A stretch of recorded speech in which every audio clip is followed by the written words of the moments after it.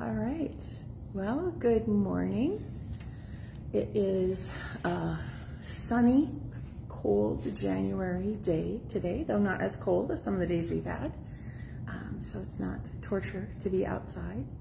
Uh, thanks for joining us today for Bible study.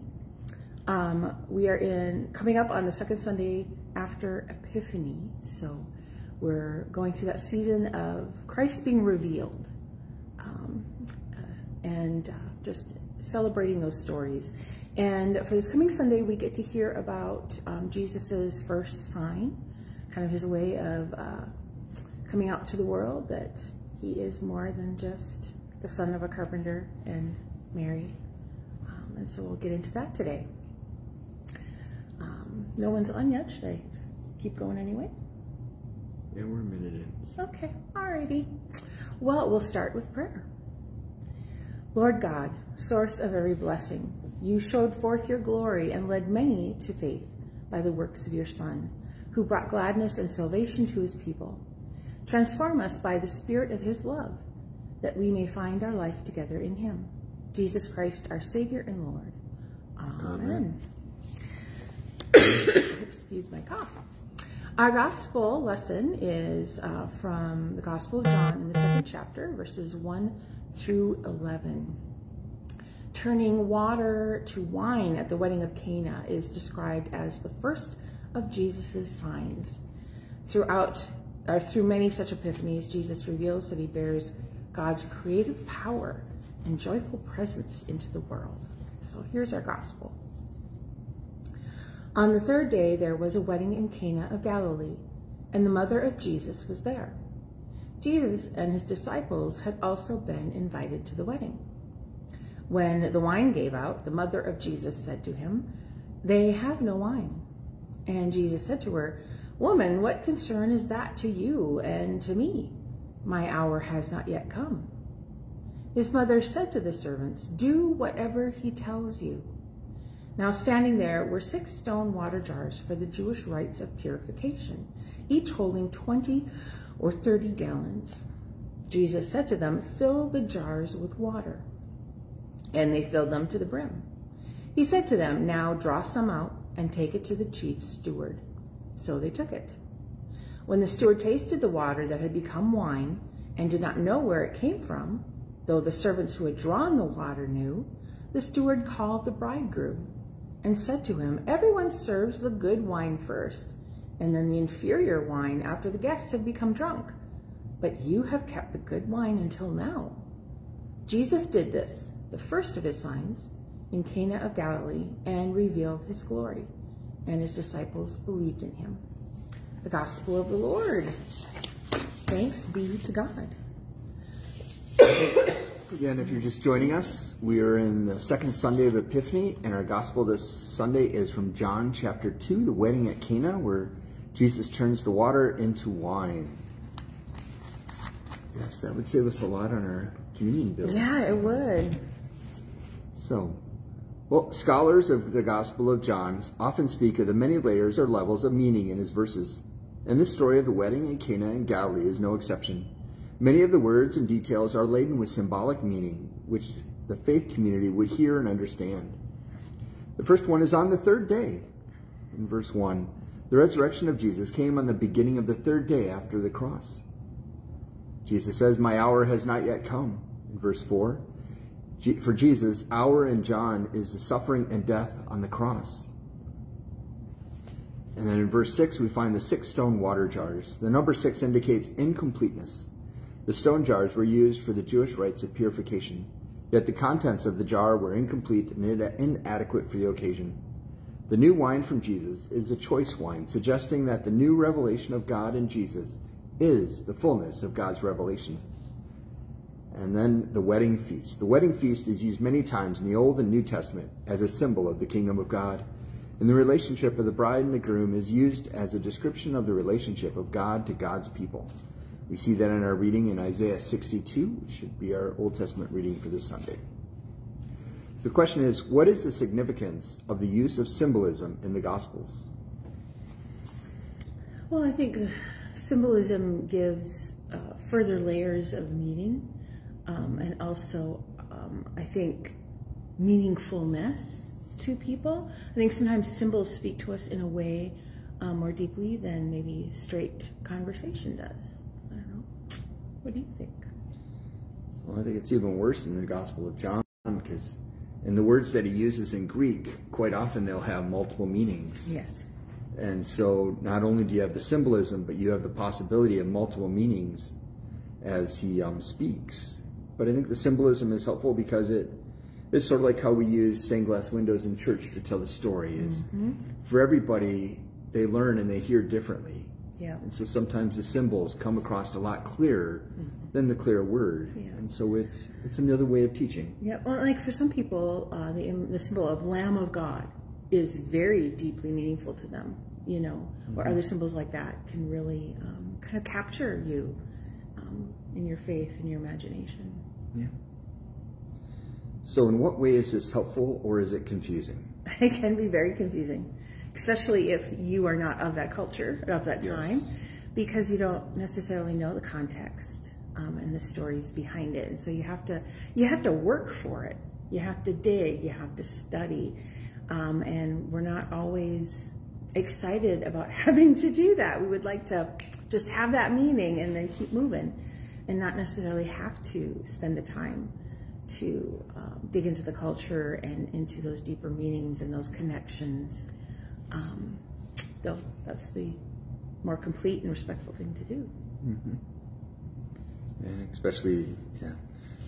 It's really hard if you aren't part of the culture, I think about when I try to talk to the kids about things that make you go, hmm. and none of them watched the Arsenio Hall show in the late 80s and early 90s. Imagine that. So they don't get those. um, and so the symbolism can be confusing, but Mm-hmm. in many ways it also can expand our understanding. Yes, yes. Um, I had a fellow pastor um, that I worked with for a while in a community um, who was from Germany, and he talked about his struggle to understand um, our figures of speech and our symbols. Because he said, for an example, he said, you know, in Germany, if somebody's a really good friend who you can just rely on, trust, you say, uh, now there's somebody who I could steal horses with. Well, in Western part of the United States, stealing a horse was a hanging offense, you know, so it doesn't have the same meaning. Um, and I just found that really helpful for him to tell me about that because, yeah, we, we need to be aware and listening and learning.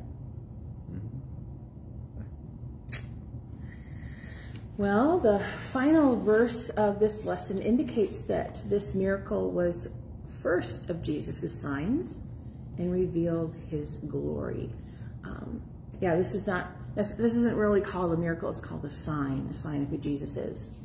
The Gospel of John has a series of seven signs, the number symbolic of completeness and wholeness. The signs or miracles of Jesus' ministry all point to Jesus and his identity as God's promised one.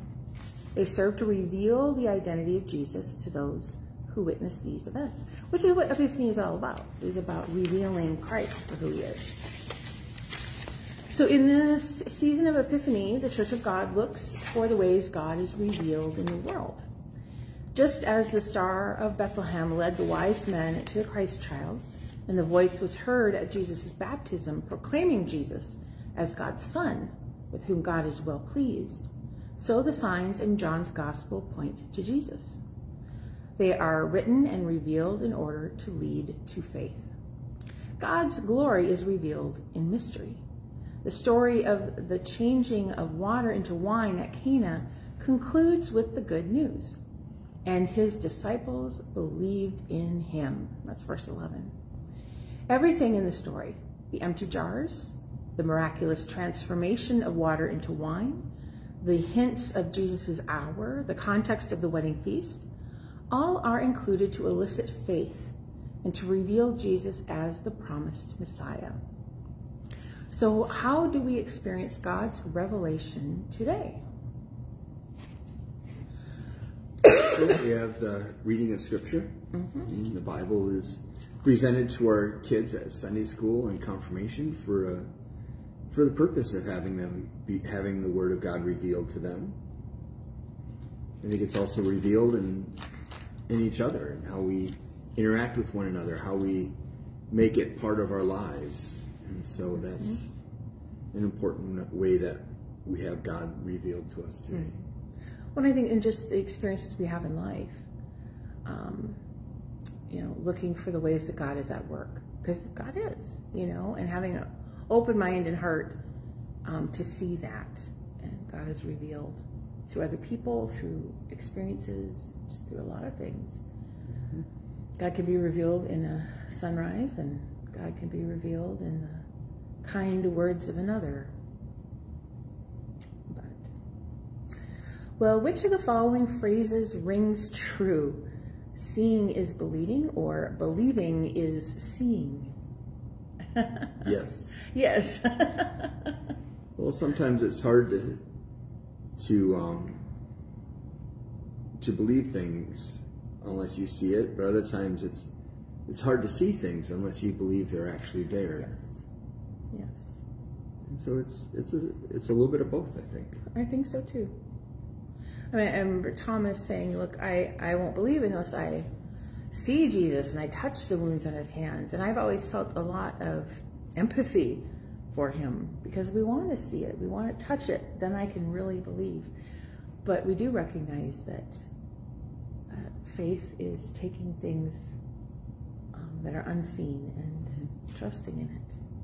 But we see the different people that come to Jesus for healing and the believing made them see Jesus. And so it's That's the thing. If they hadn't believed in him, I mean, they would have heard about him, but they wouldn't have approached him or believed that he could heal him. Well, how does a person come to faith? How did you come to believe in Jesus? well, I came the traditional Lutheran ways. My parents made me.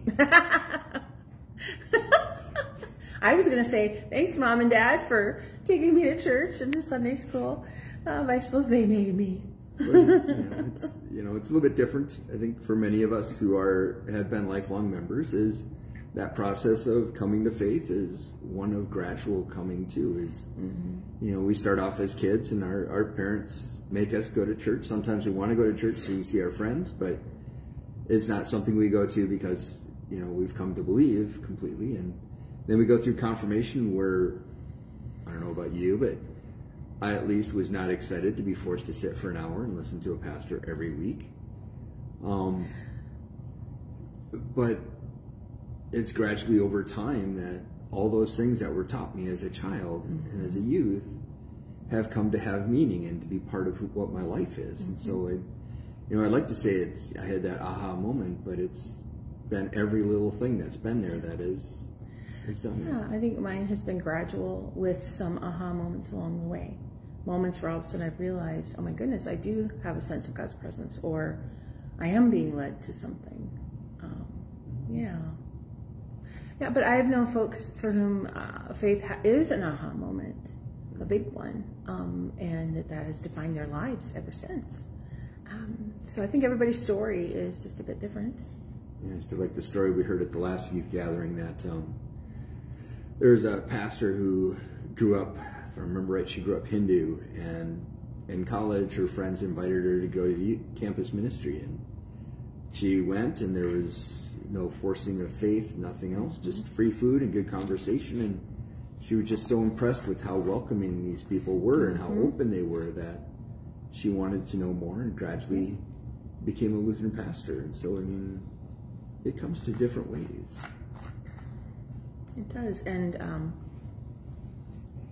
and I think everybody's story includes welcome and uh, relationship, because we, you know, faith really comes through relationship. Yeah. There really isn't any other way for it to happen. Um, think that's why it's so important that we do establish those caring relationships with people, because that's how one of the big ways we experience God's presence.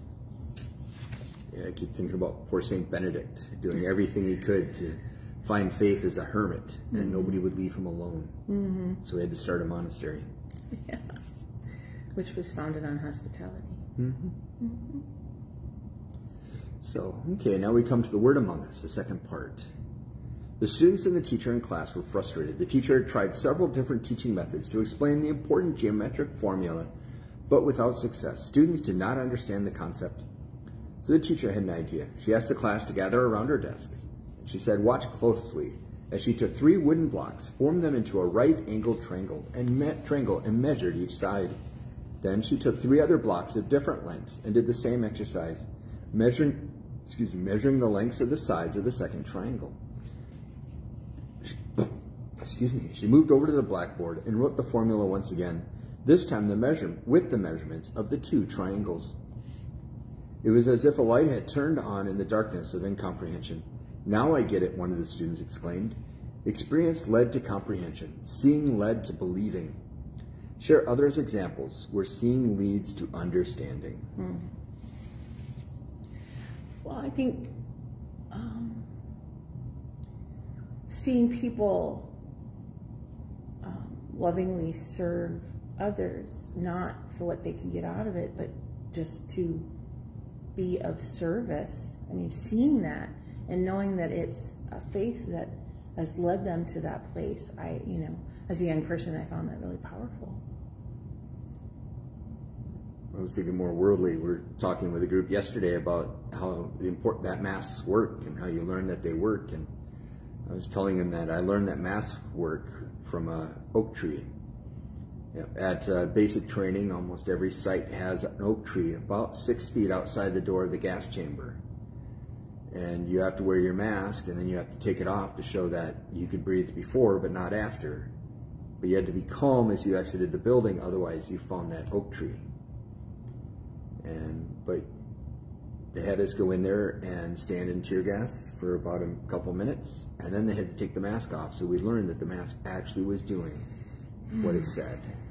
Yikes. You learned that it worked. So that was a heavy dutier mass. Yes, that was a much bigger mass. So anybody who complains about mass nowadays, I, I it's like these are so much simpler. Um, so, how is it true in our faith lives as well? Seeing leads to understanding. I think, again, it's seeing, you know, people don't think it's important to be at church sometimes, but sometimes seeing people in church with you leads you to understand that, you know, especially on those days where we're wondering why, and you see other people who find it important that they need to be there, and it makes you realize that this is this does matter. This does matter. Definitely. Yeah, and I think um, when we see certain behaviors around us, that influences our behavior. Mm-hmm. And we see this all the time. And um, so, what behaviors are we exposing ourselves to? What examples, you know, are we opening up our lives to? I think about, you know, the different examples. You know, we have Martin Luther King Jr. Day coming up next week, and and just thinking about people willing to take their faith and be beaten and go to jail for it because they believe it so strongly you know, I think at youth gathering we hear examples of faith of pastors who are either um, harassed or imprisoned in the United States for taking their faith seriously of wanting to feed the hungry, care for the poor, yes. and the communities around them and the states around them would rather have the poor and the hungry seen someplace else. And and to see them say that no, this is something I have to do and are willing to take the extremes for it. You know, we see it and examples of faith, um, like Dietrich Bonhoeffer. Yeah. You know, being willing to risk everything. And so, so we have examples of faith that that guide us. Mm-hmm. And I think it's helpful for us to see uh, examples of faith not only in these great people who did amazing things, but in just the regular people that we interact with. You know, oh, you know, Stan, you know, Stan, you know and seeing Stan mm-hmm. living out that faith can be really inspiring. That yeah, a regular person like me can um, live a rich life of faith. Yeah, well, I just think it's strange. The person I remember most from my church growing up was Mark, our janitor, always being willing to stop and talk to us as we're roaming the church halls between Sunday school or after confirmation and before youth group. And that just always struck me and how always he was, he treated us as though we were people. Yeah. And that even as youth and kids. Yeah. Well, I've talked before about Mr. Severson. He was our Sunday school teacher for us kids who had already been confirmed and actually were still going to church. And he just he took our questions seriously. He didn't blow us off. He didn't come with an agenda. He just wanted us to know Christ and listen to our questions. And we had good conversations, some of the best conversations as a young person. Um, and I mean, he just he was just there, but he it was powerful. Yeah. He showed up and he cared. So the next question is, what ex- what does the expression blind faith mean? Or sometimes you just have to take it on faith. Mm -hmm. Well, it's you know sometimes when you try new things, trying to make it work, or you're gonna go meet with a new person that you want to talk to, it's sometimes just blind faith, trusting that God is with you, that you aren't alone as you make into the, make this step into a journey where you aren't sure where it's gonna end up. Yeah, it's about trust. You know, whatever it is that you're facing, that there's a trust that it is. There's no promise that it's going to be easy, but trust that that you're accompanied and you're cared for. You know, and I think uh, when my uncle and his family um, went to become missionaries in Malaysia, there was a lot of that because they didn't. You know, you don't necessarily know exactly what you're getting into, and it was quite an experience for seven years. Um, but just going out anyway, you know, going for it. I don't know. The bugs alone would be a big issue for me.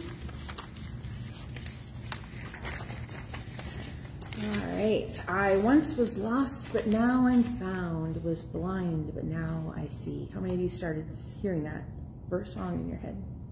These familiar words from the beloved hymn Amazing Grace capture the message of Epiphany. Epiphany is a time to look for Jesus, for God's presence. It is a time to lift up the experiences of God that lead to and deepen faith. It is a time for light to shine in the darkness of unbelief and incomprehension. It is a time of transformation. Where and when do you see and experience God's presence? You never know. It's kind of become a joke for me. You know, go to the grocery store, experience God. I don't know why. Hmm? Simple ones. You see it in sunrises, I've been told, and in sunsets. Um, We're not morning people. and you know, I, I see it in my daughters. You know, and I see it in the people that we meet. And I think anytime you see somebody doing a loving act towards somebody else, holding a door, um, helping somebody get something off a higher shelf, anything like that. Is, is sometimes simple things. And you know, and even online, you know, we we have such um, complaints and criticisms about online life for good reason. Um, but I've also seen amazing gifts of compassion. Um, you know, I'm, I belong to different groups and stuff on like Facebook just for fun stuff, and I have seen such such compassion and patience and um, from people who probably will never meet and are on opposite ends of the world, um, and that's that's wonderful. Uh, how might we look for God's presence during the coming week? Well, we get the confirmation students today. How might we see God's presence in our kids? And their love of snacks. I think we're getting a little low, actually. And then, uh, you know, at church, you know, you get to see everybody gathered around, and mm-hmm. we may not be able to do all the things we want to, but we can still see people. Yep. You bet. Hmm. So there's different places you can see God's presence. Yeah, I mean, yeah, just about anywhere. I think a lot of time is having an open mind to see it. You know, we, You know, watching the news this morning, you see um, there's a helicopter crash of a medical helicopter, oh, and everybody walked away.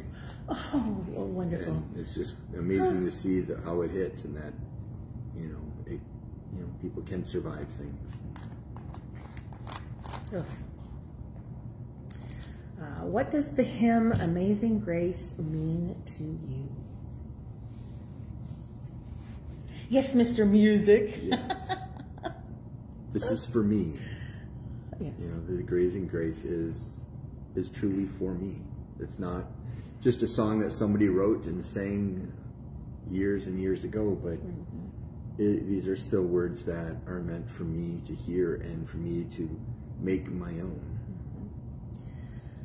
Mm-hmm. I've found comfort in those words many, many times. And there have been times when I have been sad or struggling or, you know, just in one of those hard times in life. And I'll find myself singing it to myself. Um, well, when the girls were little and I would sing to them as they were falling asleep, um, quite often, I mean, I didn't think about what I was going to sing, but quite often, Amazing Grace was one of those things I would sing to them just because it is such a promise.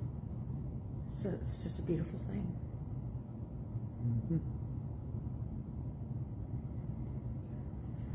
So, yeah, I gonna say I'm also brought my laptop so I can check for comments too. That's one of the things I've noticed with my phone. I can't see comments as easily, so I'm doing both. Okay, well the next section here, the story of the miraculous changing of water into wine at the wedding at Cana in Galilee is an epiphany story, and like most experiences of God's presence in our lives, there is an element of mystery in the experience. We don't know how Jesus turned water into wine. We don't know how a cross can be a sign of life, how dying can lead to rising, how Jesus can be truly God and truly human, how Christ can be both can be truly present in a morsel of bread and a sip from a cup, or how a motley group of sinners can be the body of Christ. We can't fully comprehend, but we see, and in seeing we believe. What do you have trouble believing about Jesus Christ? Hmm. Well, it, I don't know, trouble in believing, but just struggle to understand um, the Trinity, you know, and Jesus' place within it. Um, you know, fully human, fully divine, but yet is God. I mean, that's just, it's a tough one to stretch your mind around. Hmm.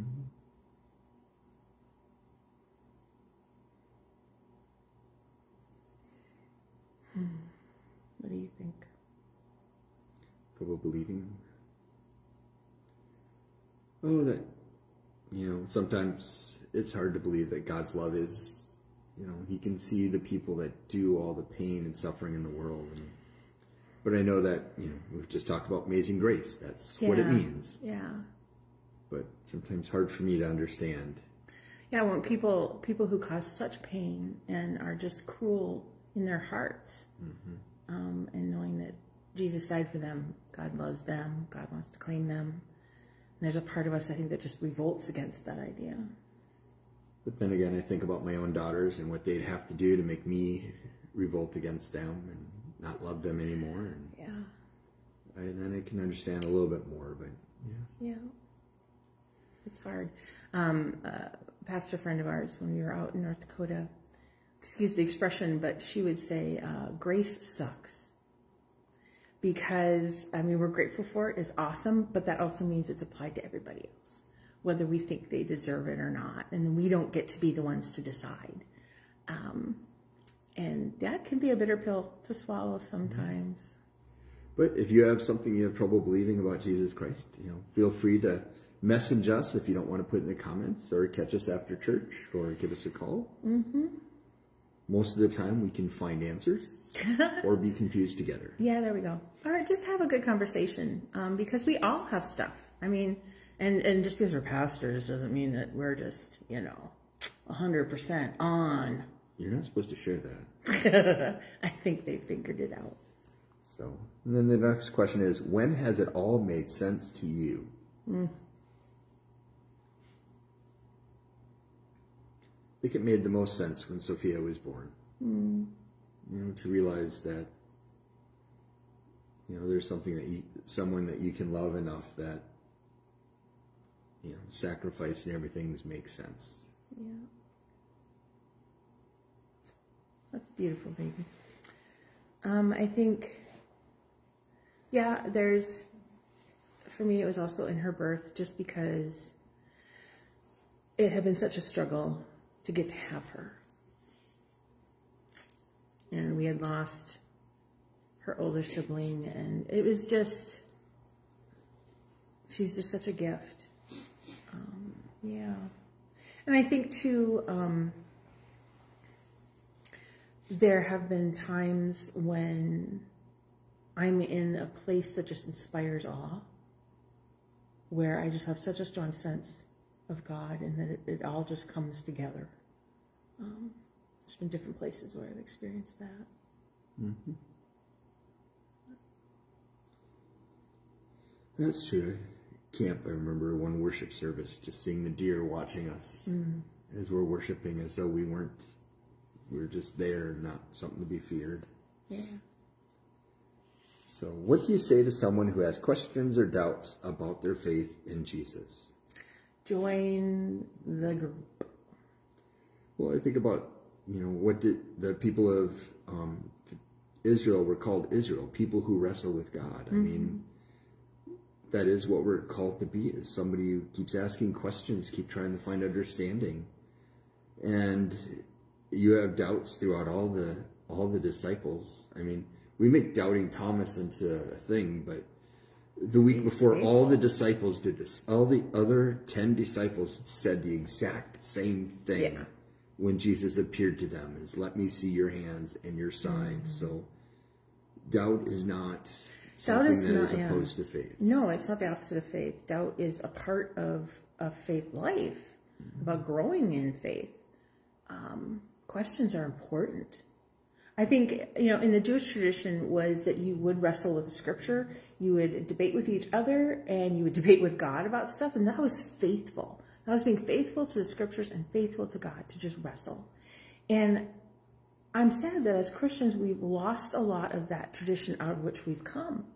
Um, I think there's some who have basically said if you question anything, then you're not being faithful. Well, the opposite is true, really, in many ways.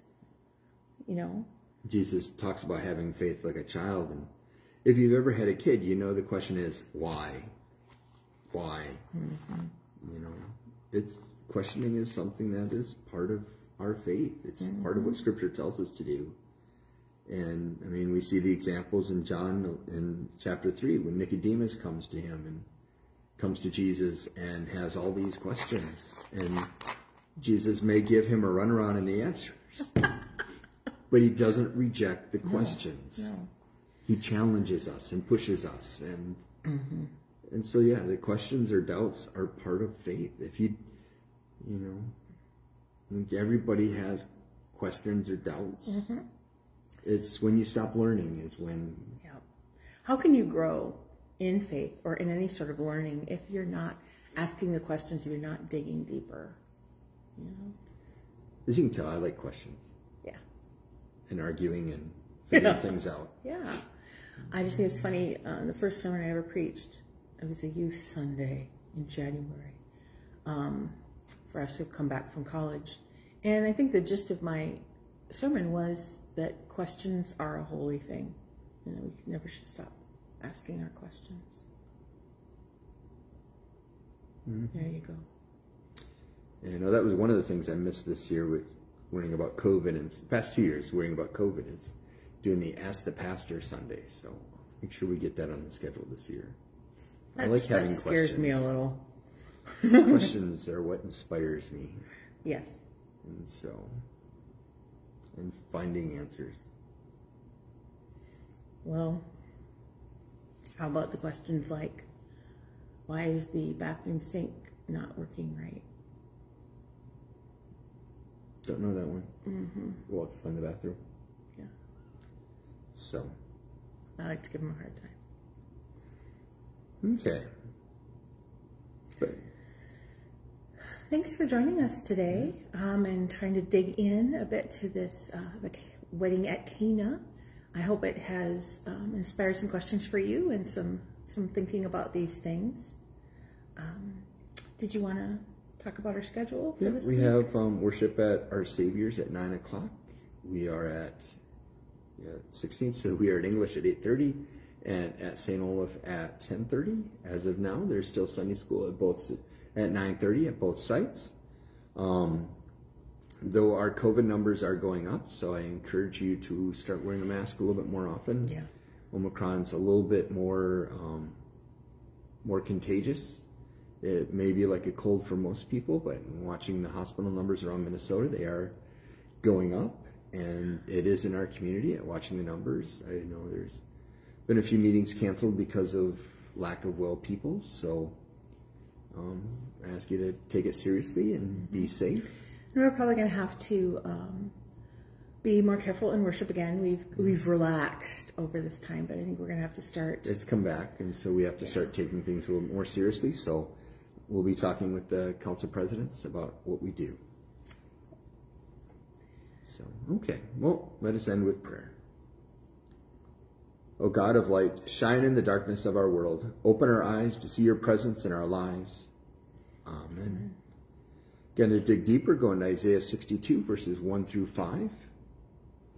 And for the last word, look this week for signs of God's presence in your life. I hope you do discover signs of God's presence around you, because that's that's a, a gift. And if you see something, share it in the comment section of this post. Always like to hear where we can find God. Absolutely. Well, again, thank you for being here. Hope you have a good Wednesday. So, God be with peace.